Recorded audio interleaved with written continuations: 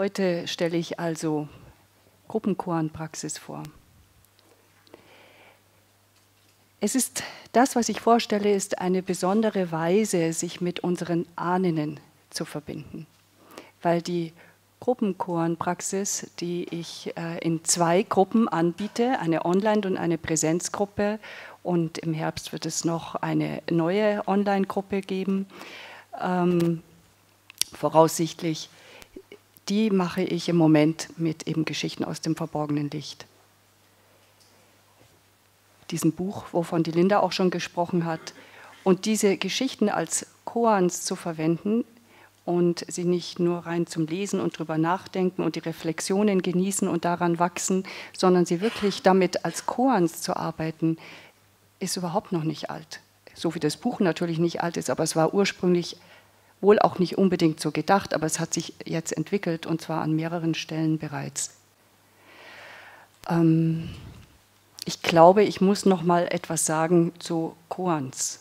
Ähm, es sind zwar vielleicht auch lauter Leute da, die schon jahrelange Koan-Praxis haben, aber wenn nur eine Person ist, die das nicht hat, hat es auch, ist es auch ein Grund, äh, ein bisschen was dazu zu erklären, soweit man das überhaupt erklären kann, weil mit diesen Geschichten zu arbeiten ist eine, eine Erfahrung und es ist nicht etwas, was man wirklich intellektuell erklären kann. Aber ich ein bisschen was dazu sagen kann man natürlich trotzdem und das brauchen wir auch. Ich brauche das auch immer.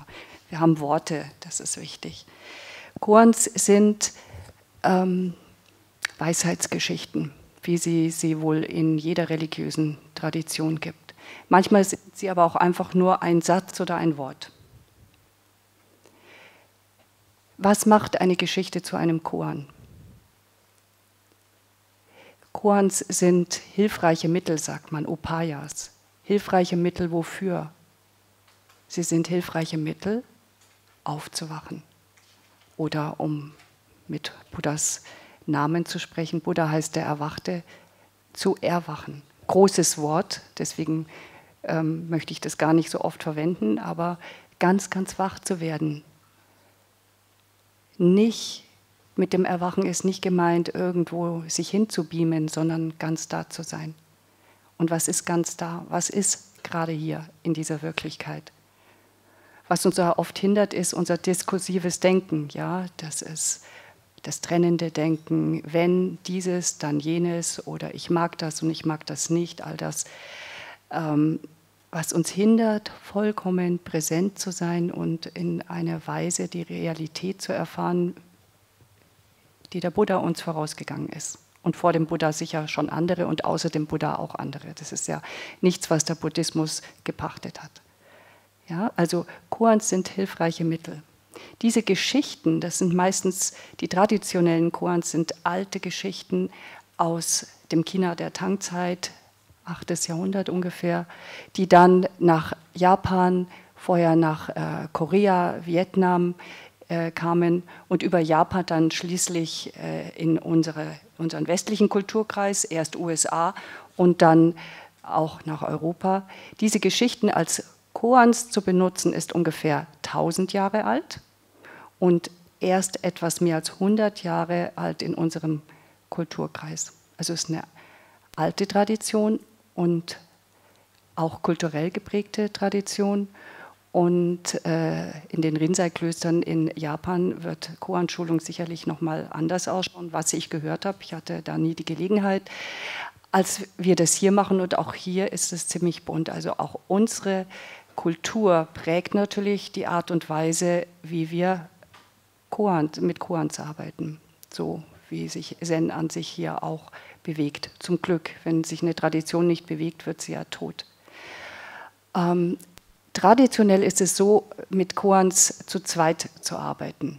So habe ich das 15 hm, Jahre lang mit meinem alten Lehrer gemacht, mit großer Freude und mit großer Freude seit sieben Jahren mit Linda an den verborgenen Lichtkoans und nochmal auch andere. Ähm, das ist das Setting zu zweit. Und ich schätze das sehr. Koans in Gruppen zu unterrichten oder zu praktizieren, auch mit AnfängerInnen, ist, soweit ich weiß, relativ neu und im, in den USA entstanden.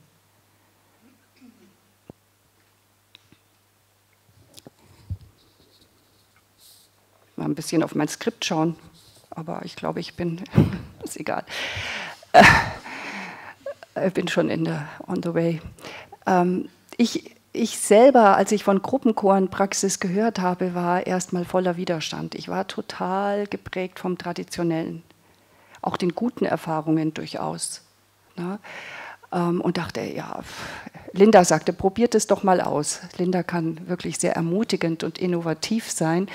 Und äh, ja, ich kam aus einem ähnlich traditionellen Eck wie Linda, aber natürlich auch nochmal anders. Aber jedenfalls, ich war identifiziert mit Einzelchorenarbeit und dachte, in Gruppen, das ist Verwässerung. Das ist nicht angemessen. Das kann nur oberflächlich sein. Ah, das war, hat mich erstmal blockiert und aber ähm, da ich ein neugieriger Mensch bin und außerdem, ihr habt gehört, Gruppentherapeutin, also ich bin auch von Gruppen überzeugt in einem anderen Kontext. Also Gruppenchorenarbeit hat nichts mit Gruppentherapie zu tun, aber ich habe einfach die Erfahrung, dass Gruppen echt wirkmächtig sind und anders wirken als das Einzelsetting.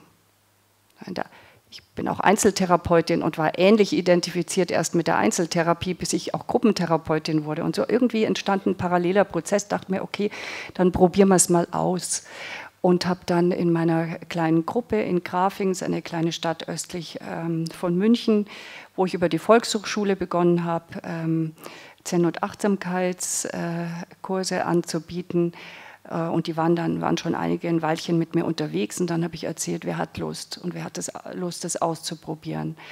Ähm, und habe dann ein Konzept und da haben sich dann ein paar haben die Finger gehoben, ein paar sind geblieben, ein paar andere sind dann wieder weggegangen und ein paar äh, so die Gruppe ist jetzt sehr konstant äh, sechs Leute mit mir, die Präsenzgruppe. Das war vor vier Jahren und äh, vor zwei Jahren kam dann die Online-Gruppe dazu, die begann nach dem ersten Retreat zum verborgenen Licht, welches Linda und ich jetzt schon dreimal hier am Benediktushof angeboten haben. Eine Online-Gruppe. Und die besteht heute aus acht Leuten inklusive mir. Alles Frauen. Ähm, Männer sind nicht ausgeschlossen, aber auch wunderbar. Also es ist wie hier. Ne? Ähm, Wobei die eine Gruppe inzwischen schon gesagt hat, wir wollen eigentlich keinen Mann drin haben. Das ist so wertvoll, dass es. Ähm, und ich, respe ich, respektiere das. Ich respektiere das, weil ähm, es bin nicht ich, die die Gruppe macht, ja, sondern es ist ein Wir. Und so. Und was ich bemerkt habe, das vorab, und deswegen erzähle ich das heute, als wir die Tagung geplant haben, dachte ich, okay, ich möchte gerne davon erzählen, weil ich bin so erstaunt. Ich finde es so eine wirkmächtige Weise, sich mit Koans zu verbinden, mit unseren Ahnen noch dazu zu verbinden und Entwicklung zu sehen. Es ist überhaupt nicht oberflächlich. Es ist einfach anders. Und es passiert ganz viel. Und davon möchte ich jetzt ein bisschen erzählen.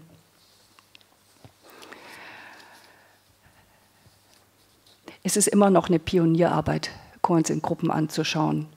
Und ähm, immer noch höre ich immer wieder Reaktionen, sehr, sehr skeptisch. Und ich kann das verstehen. Ich glaube, wenn man es nicht selbst erfahren hat ähm, und man kommt aus einer traditionelleren Schulung, kann man sich das nicht wirklich vorstellen.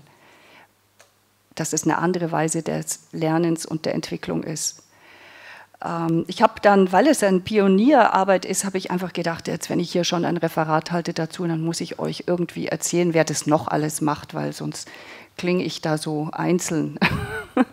ist das seriös genug?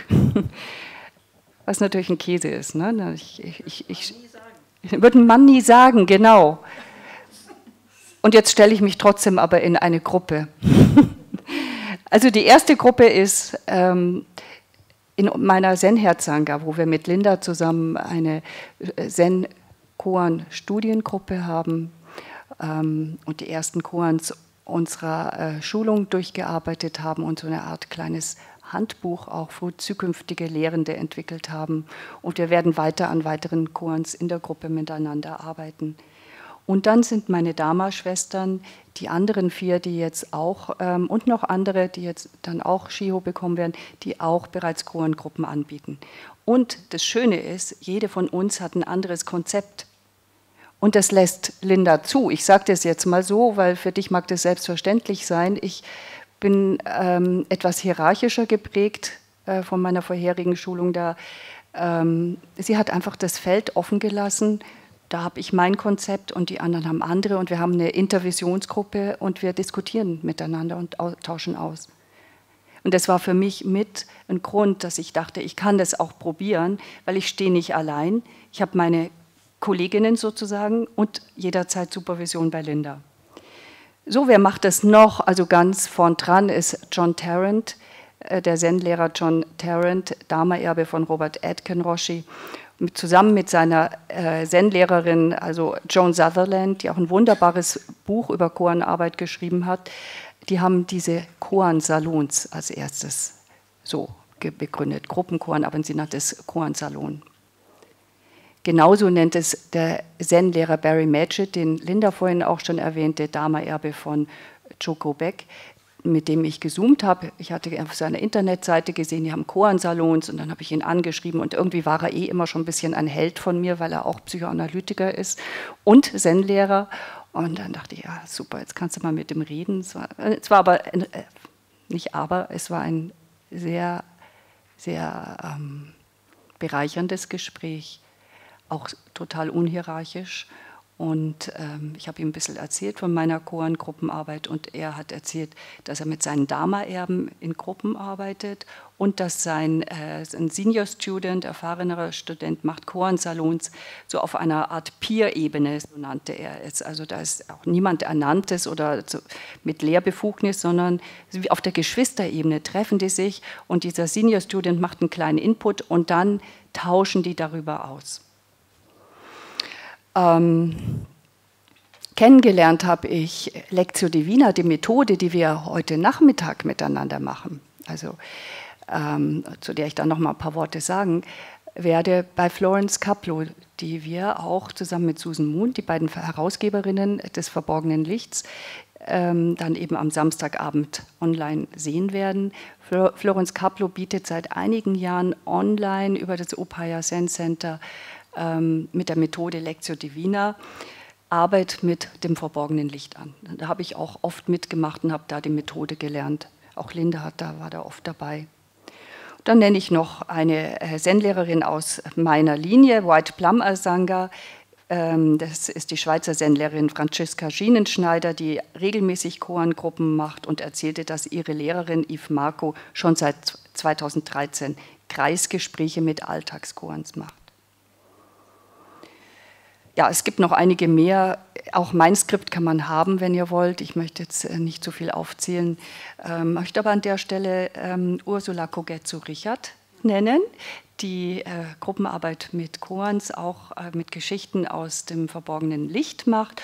Und ich habe jetzt hier schon von zwei anderen erfahren, die das auch machen. Und ich glaube, wir sind noch sehr viele mehr oder vielleicht noch einige, die in den Startlöchern stehen. Also ich fände es spannend, da noch mehr auszutauschen.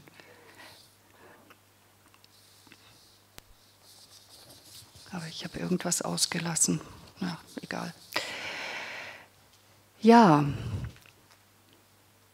was also ist das Spezifische an Koanarbeit in der Gruppe, so wie ich das verstehe? Ich habe dieses Referat äh, genommen als Anlass, wirklich mal zu reflektieren, warum funktioniert das sozusagen? Was sind die Kriterien, die eine Koangruppe ausmachen? Ähm, und habe nochmal nachgedacht an das traditionelle Setting in der Einzelchorenarbeit. Ich überspitze es jetzt mal, so wie ich es ja erlebt habe, da ist der Meister, da ist die Schülerin. Meisterin, Schüler, natürlich genauso. Aber ähm, dieses Zweier-Setting, wo man auch sehr schaut, was ist der Punkt beim Choren, worum geht es und der die Schülerin herausgefordert ist, diesen Punkt genau auch zu finden und zu präsentieren oder zu verkörpern, immer wieder, immer wieder, ist eine tolle Arbeit, aber birgt die Gefahr, dass eine, eine hinderliche Hierarchie entsteht. Ich sage nicht, dass es in dem Sinne keinen Unterschied gibt, weil ich bin froh, wenn ich einen Lehrer oder Lehrerin habe, bei denen ich lernen kann, bin ich wahnsinnig dankbar. Ja. Ähm, also, aber ich spreche von hinderlicher Hierarchie. Ich glaube, ihr wisst, was ich meine. Dazu gehört natürlich auch die Schülerin selbst oder der Schüler selbst mit den Projektionen von Idealisierungen und äh, ganz wesentlicher Anteil. Na, der, die Meister hat die Weisheit und wird mir immer sagen, wo es lang geht. Die Gefahr ist, dass ich wirklich lang brauche oder vielleicht nie auf eigenen Füßen zu stehen. Ja, der Buddha hat gesagt, schau unter deine eigenen Sandalen nach. Das Ziel ist, dass wir eigenständig sind in unserer Praxis, eigenständig im Leben stehen, im Dharma. Und wie kann ich diese Eigenständigkeit eigentlich von Anfang an unterstützen? Oder muss ich 20 Jahre in hierarchischem Setting sein und dann plötzlich, wie so ein Entwicklungssprung, steht da die selbstständige Susanne? Mag bei manchen funktionieren. Wenn man jetzt die Koan-Gruppe anschaut, dann sitzt eine Koan-Gruppe bei mir jedenfalls im Kreis. Das ist schon vom körperlichen Ausdruck ein Unterschied, weil auch die, die die Gruppe auf ihre Weise leitet, begleitet oder wie immer man das nennen will oder darin lehrt, sitzt im Kreis. Ich jedenfalls sitze auf keinem Podest. Ich glaube, das hat sich jetzt hier auch keiner vorgestellt. Das heißt, wir sitzen auf einer Ebene und wir sehen uns alle. Und da schon in diesem Sitzen im Kreis wird ein Erleben zugänglich, was mit dem zu tun hat, dass ich immer Teil des Ganzen bin. Ich bin einzeln, aber ich bin auch Teil von vielem und Teil vom Ganzen. Also das mal rein körperlich. Jetzt ist es aber so, ähm, bloß weil man im Kreis sitzt, ähm, ist das noch nicht eine hilfreiche Gruppe, oder? Ich meine, jeder von uns kennt in Gruppen unterwegs sein, ob wir im Kreis sitzen oder sonst wie in der Gruppe. Gruppen können richtig gemein sein, ausgrenzend, bewertend, mehr oder weniger stark, hierarchisch, Hierarchien untereinander, bis hin natürlich mehr oder weniger offen hierarchisch zu dem oder der Leiterin. Sage ich das, was der, die Leiterin dann gut findet?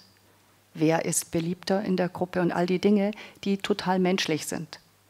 Aber die natürlich wirklich hinderlich werden können, wenn ich, wie in der Chorenarbeit, mich offen und weit mache und versuche ohne Wertung zu sein und mich zu verbinden mit dem, was ist und mich nicht zu verstecken, Vertrauen zu haben.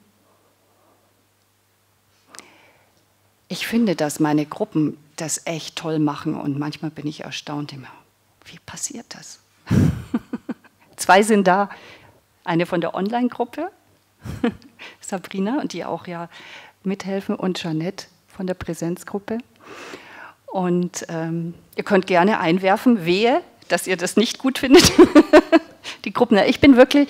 Und dann nochmal, was was passiert, damit die Gruppen funktionieren? Und es sind zwei Punkte. Auf zwei Punkte bin ich gekommen und ich bin gerne neugierig von euch, weitere Punkte zu hören. Der eine ist meine Haltung, der andere ist die Kraft der Sangha. Ich fange an mit meiner Haltung. Ähm, das ist ein Teil meines Jobs sozusagen. Ich gehe voraus. Inwiefern? Ich bin nicht vorn dran, sondern es ist in der Art und Weise, wie ich da bin, dass ich versuche, während ich in dem Kreis sitze und die Gruppe einlade, sich zu zeigen oder zu verbinden mit einem Koan und Verkörperungen, das ist ja alles auch eine mutige Sache, ähm, dass ich da selber praktiziere währenddessen. Dass ich nicht innerlich außen bin und leite, sondern ich praktiziere selbst Offenheit und Respekt und Achtsamkeit. Und auf welchem Boden? Auf dem Boden, und es ist bei mir immer mehr gewachsen, in, wie so eine Bestätigung durch das Erleben, dass es wirklich so ist, dass alle Weisheit und die Weisheit, in jedem an sich schon angelegt ist und schon da ist. Buddha Natur ist nicht erst nach 20 Jahren Praxis irgendwo. Es ist schon jetzt da. Und dass es nur ein hilfreiches Umfeld braucht, damit sich das entfaltet. Und wie schaffe ich das hilfreiche Umfeld? Und eins davon ist so eine Chorengruppe. Es kann auch die Einzelchorenarbeit sein oder Geschirr abwaschen. Ja? Es gibt viele Felder. Also, ähm, und dann noch etwas anderes, dass ich mich immer wieder erinnere, dass, dass das Ganze eigentlich, für mich ist es wie so eine Blumenwiese, dass ich nicht werte, weil jede Blume ist gleich viel wert. Jede blüht auf ihre Weise und in ihrer Zeit. So, und dann sieht man in der Koan-Gruppe, dann macht die eine plötzlich einen richtigen Sprung, das merkt man an den Beiträgen, und die andere, ja, hängt an irgendwas anderem, aber hört ganz groß und partizipiert von dem, dem ich sage jetzt mal so ein bisschen einfach, Einsichtssprung der anderen. Und ich gehe dahingehend voraus, dass ich nicht werte, dass ich einfach nur, ehrlich gesagt, ich bin echt oft dankbar, dass ich einfach da Teil sein darf für das, was so passiert. Und ich muss gar nicht so viel machen. Auch das ist ein Teil meiner Position. Dieses Vertrauen in, in die Anwesenden, in die Sangha-Gruppe, da komme ich jetzt gleich, bedeutet auch, dass ich nicht die Pusherin bin. Und ich muss nicht dauernd so quasi von außen den Dharma injizieren, ja, damit die endlich kapieren, wo es lang geht. Ja. Ich gebe schon Dharma-Inputs. Ich sage es dann bei meinem Konzept jeden zweiten Abend, aber oft nur ganz kurz. Und es ist immer eher eine Art von Einladung, noch einen Schritt weiter zu gehen oder anders nochmal drauf zu gucken. Und ich vertraue darauf, jede nimmt sich das, was für sie gerade hilfreich ist und der Rest wird wahrscheinlich vergessen oder wirkt irgendwie weiter. Ähm, es muss ja jede selber erwachen. Das kann ich ja für niemanden machen. Das ist enorm entspannend. Und gleichzeitig ist es wirklich eine Praxis bei mir selber, weil natürlich werte ich dann doch plötzlich wieder. Das tun wir einfach. Und das ist der Aspekt, der, glaube ich, ganz wichtig ist bei unserer eigenen Haltung, ist zu merken, also eine Art von Reflexionsarbeit mit sich selber zu machen. Wo, wo fange ich an zu werten? Wo fange ich an, äh, vielleicht nach Bestätigung zu gucken? Will ich wichtig sein als Leiterin? Will ich mit meinen Beiträgen auch wirklich anerkannt werden, auch menschlich? Also ich spreche hier von Sachen aus eigener Erfahrung und von, wenn ich so von der Haltung und diesen Dingen spreche, spreche ich einfach von etwas, äh, ich betrete den Weg so zu gehen. Ich sage nicht, dass ich dauernd so bin. Ne? Es ist einfach nur, glaube ich, dass schon die Ausrichtung in so eine Haltung sehr viel macht. Ähm, ich kann nur ermutigen, sich auch immer wieder Intervision oder Supervision zu holen, weil man verwickelt sich einfach doch immer mal wieder. Und man lernt auch in der Intervisionsgruppe, ist auch eine Art von Lerngruppe. Und dann ganz starke Erfahrung bei mir, nie vergessen, dass ich selbst immer Lernende bleibe. Also ich lerne von meinen Gruppenteilnehmerinnen jedes Mal. Jedes Mal. Ist ja auch logisch. Die bringen Beiträge, die, auf die ich ja nicht gekommen wäre, weil ich nicht die bin. Ja? Und äh, wenn ich offen bin, dann sehe ich, was für eine Vielfalt das ist. Und das auch ist auch eine Haltung, ich denke, die sich transportiert in der Gruppe, diese Offenheit und Neugierde, wir nennen es im Zen auch Anfängergeist, immer wieder zu schauen, und was zeigt sich jetzt? Wow, staunen. Und ich kann es nicht planen. Ja, jeder Abend läuft anders, ich kann es nicht planen. Ich habe vorher von der Kraft der Sangha gesprochen, der andere Aspekt, weil natürlich mache nicht ich die Gruppe allein, sondern dann haben wir noch die Kraft der Sangha. Und was meine ich damit? Ich gehe mal davon aus, dass alle Wesen erwachen wollen. Alle wollen heimkehren zu ihrer ursprünglichen Natur. Und dass das wie so ein mehr oder weniger bewusster Antrieb ist, sich in die Praxis zu begeben. Und Deswegen sind die Leute in der Chorengruppe oder beginnen sie mit der, machen sie mit der Praxis, auch wenn vielleicht am Anfang oft steht, ich möchte ruhiger werden, ich möchte entspannter werden und so. Und mit der Zeit, die die bleiben, die wollen noch mehr. Also ich kann davon ausgehen, dass die Leute sich entwickeln wollen. Das ist schon mal die erste Kraft in der Sangha.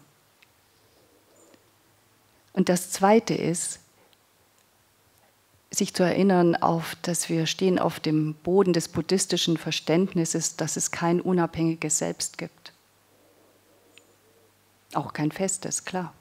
Kein unabhängiges. Da ist kein Ich, keine Susanne, die unabhängig ist von irgendjemandem hier. Alles ist verbunden. Und alles bewegt sich und fließt. Und es ist ja ein zentrales buddhistisches Prinzip. Wie also übe ich damit in meiner Praxis? Es ist ja, wenn das so zentral ist, ist das wichtig, das bewusst in die Übungspraxis reinzunehmen. Dieses alles ist in Beziehung, alles erwacht sogar in Beziehung. Selbst der Buddha ist mit nach seinem Erwachen hat er sofort gesagt: Oh Wunder, oh Wunder, alle Wesen sind jetzt auch sind auch erwacht hat sofort alles mit einbezogen.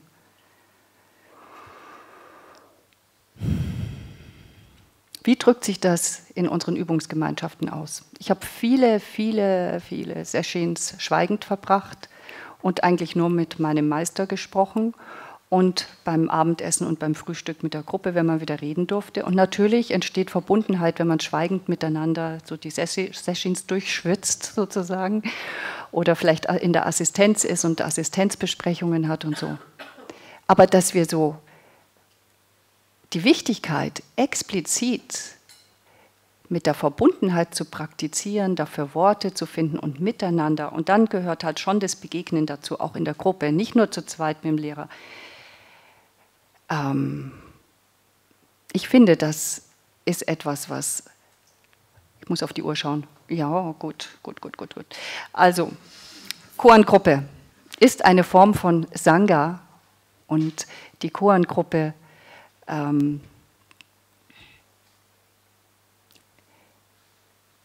wird dem Anspruch, dass wir, wir haben die drei Schätze Buddha, Dharma, Sangha, im Zen sagen wir das so, ich weiß jetzt gar nicht in den anderen Richtungen wahrscheinlich auch. Buddha, Dharma, Sangha. Wenn wir Sangha pflegen wollen, Sangha entwickeln wollen, brauchen wir Formen, wie das geht. Und eine davon kann eine Koan-Gruppe sein.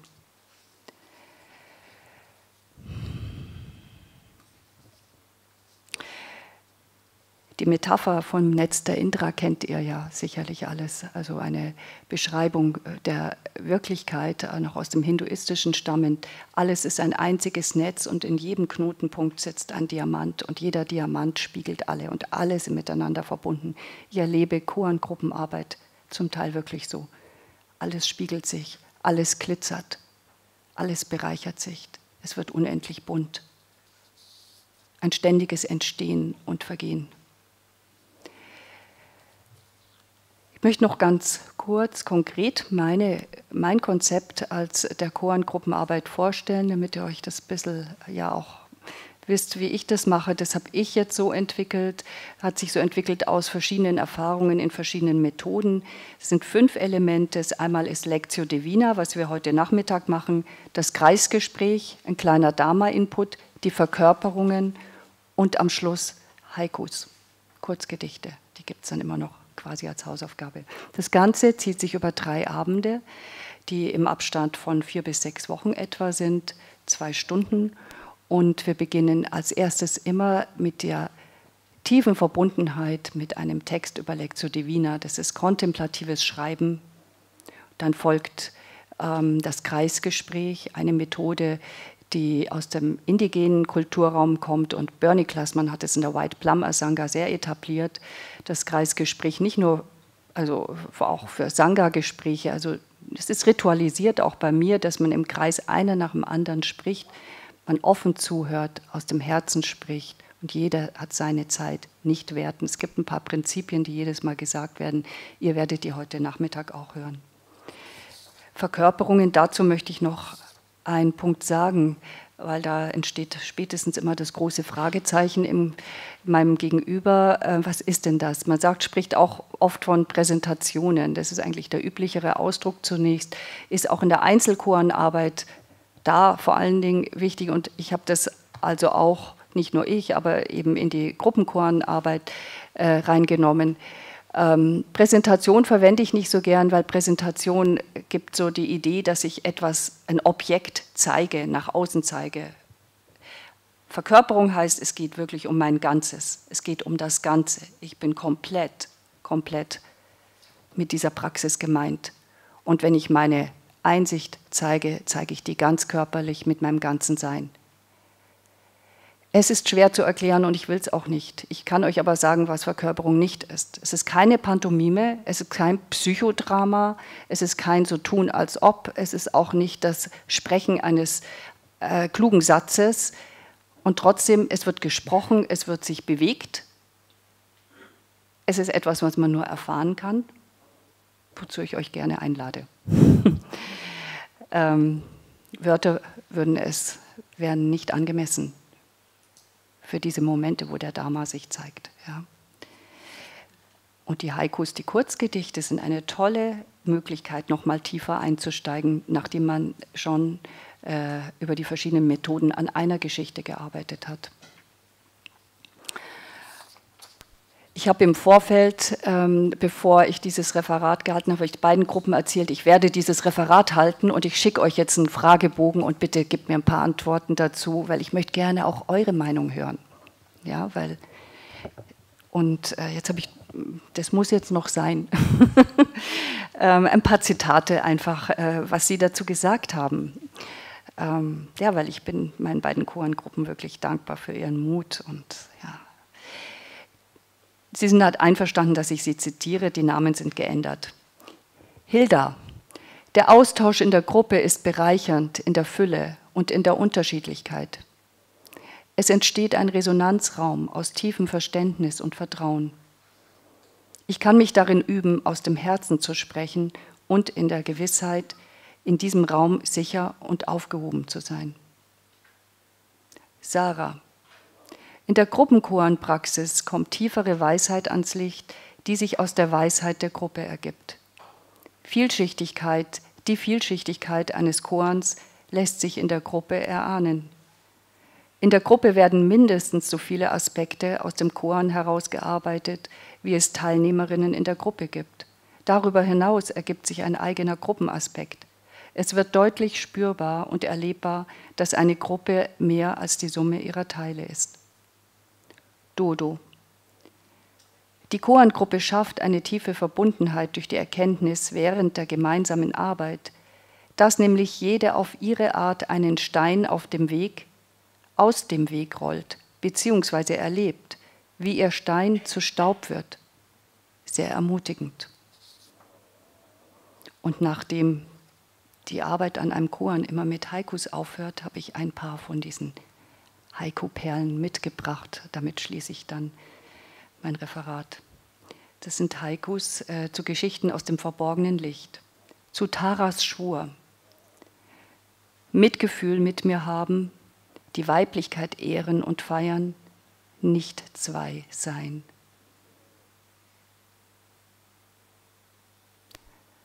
Zu Patakaras Geist im Hier und Jetzt.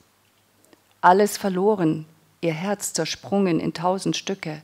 Wach auf, ganz in Vergänglichkeit. Zu, lass uns zusammen erleuchtet werden. Die Alte und ich, wir wohnen zusammen in einem Haus und scheuchen kichernd die Gespenster zum Fenster hinaus. Zu Die alte Frau erkennt Masu. Voller Lust wirbelt das Mädchen die Herbstblätter hoch in den Himmel. Danke. Wir lachen auch viel in den Chorengruppen.